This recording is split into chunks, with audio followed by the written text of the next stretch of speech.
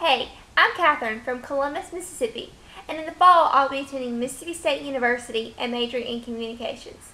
My favorite place to shop is Dirt Cheap. This whole outfit I'm wearing right now came from Dirt Cheap. These are really, really nice jeans that I know are probably $100 that I got for 20 And this top, which is so cute, I got for $5. In my dorm right now, I have a really big desk, so I went directly to Dirt Cheap to find the best furniture.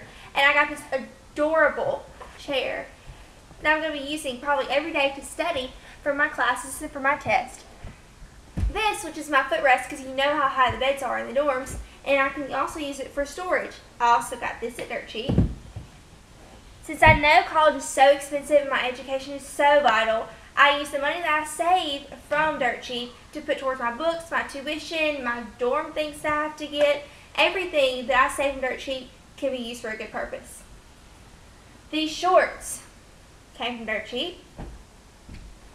Pretty much everything I wear that is like essential comes from Dirt Cheap. I go there daily just so I can look around and I get excited and I'm just curious of what they have because it's so much fun.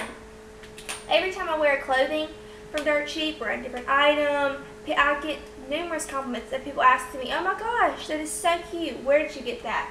And I proudly say, Dirt Cheap. It's fun, and it's just a great way to save money because you know you're going to find great things there. This cute top, this jacket, which I wore just to the movies the other night. Someone asked me, where'd you get that?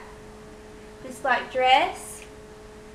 So as I go to college, I know I'm not going to be embarrassed at all to say, hey, I got my clothes from Dirt Cheap.